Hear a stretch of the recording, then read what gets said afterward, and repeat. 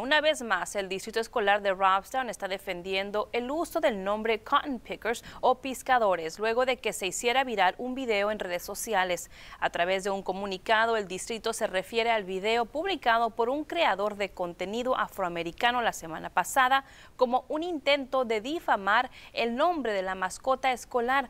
El superintendente, el doctor José Moreno, dice que respeta la opinión de los demás, pero que en este caso Cotton Pickers es razón de orgullo para los residentes de Robstown.